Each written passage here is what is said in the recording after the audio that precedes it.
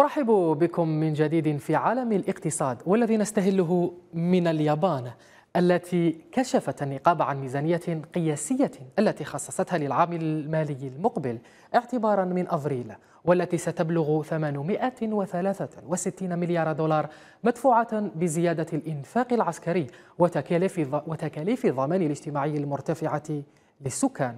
ولتمويل الإنفاق الدفاعي على المنشآت العسكرية والسفن الحربية والسفن الأخرى قررت الحكومة استخدام سندات بناء بقيمة 334 مليار ين لإصدارها في العام المالي للسنة المقبلة في خطوة غير مسبوقة وفقا لرويترز.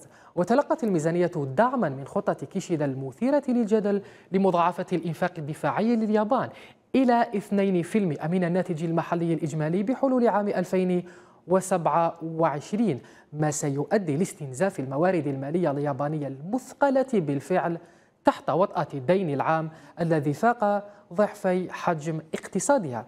هذا وتوقع مشروع الميزانية أن تحقق اليابان عائدات ضاربية قياسية بقيمة 69 تريليون ين.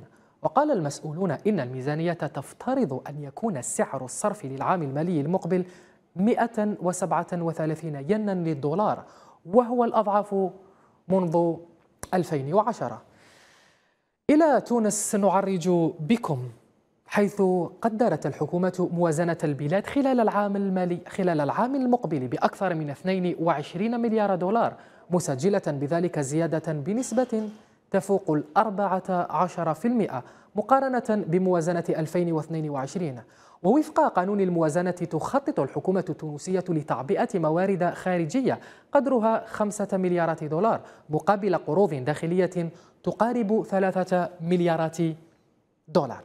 كما قدرت الحكومة المداخيل الجبائية التي ستتم تعبئتها من الضرائب بنحو 13 مليار دولار بزيادة نسبتها 12% من المداخيل التي جرت تعبئتها العام الحالي. ومن المتوقع أن يبلغ العجز الصافي للميزانية تسعة ملايير دينار ما يمثل خمسة في المئة من الناتج المحلي الإجمالي بينما يتوقع أن يبلغ حجم الدين العمومي 126 مليار دينار ما يعادل 77% من الناتج المحلي للبلاد. في أخبار المركبات مشاهدينا وصلت المبيعات التراكمية لسيارة هيونداي موتور الكورية الجنوبية في السوق الأمريكية إلى 15 مليون سيارة منذ دخولها السوق قبل 36 عاما.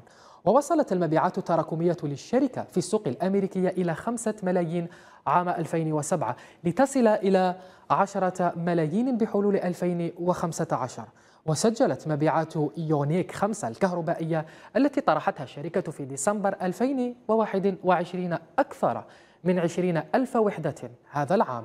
واقتربت كونا إلكتريك الكهربائية من 9000 وحدة. وتصب الشركة تركيزها حاليا على بيع السيارة الكهربائية لأخذ زمام المبادرة في سوق السيارة الصديقة للبيئة في أمريكا. يبدو أن النجم الفرنسي كيليان مبابي مهاجم باريس سان جيرمان استعاد صدارة قائمة أغلى اللاعبين في العالم عقب تألقه مع منتخب بلاده في نهائيات بطولة كأس العالم التي أقيمت مؤخرا في قطر.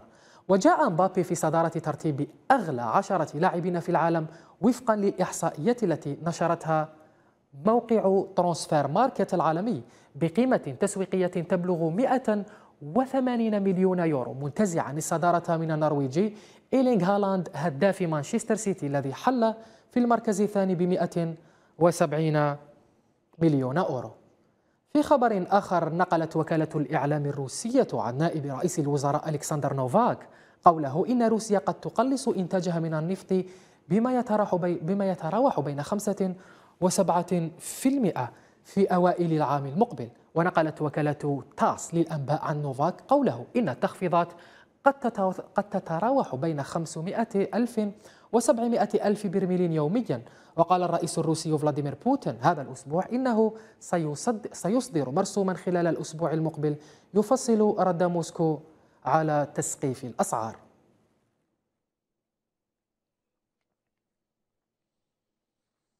قال الرئيس الجزائري عبد المجيد تبون إن سنة 2023 ستتوج بانضمام بلاده إلى مجموعة بريكس كما كشف عن استرجاع قرابة العشرين مليار دولار من الأموال المنهوبة. تتسارع الخطوات وتقترب معها الجزائر للانضمام إلى مجموعة بريكس.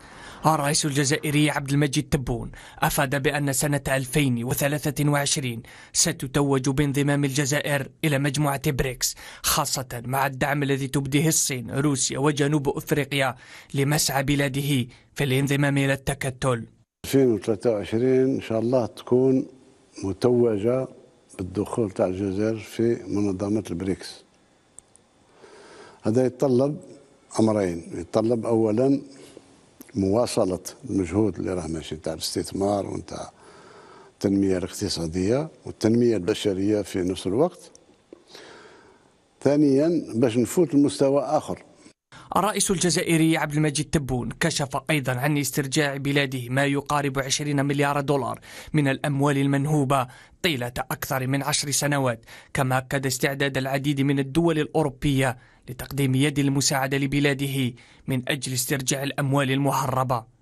تهريب الأموال الضخمة اللي تهربت تهربت لمدة عشر سنوات ماهيش ولا 12 سنة ماهيش في دفعة واحدة ولا.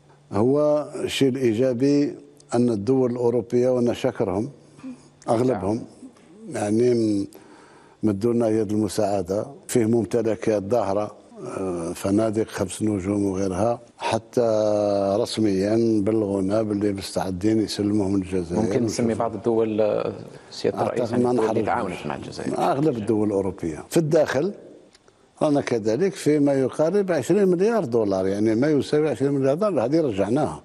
باقي المال مخزن.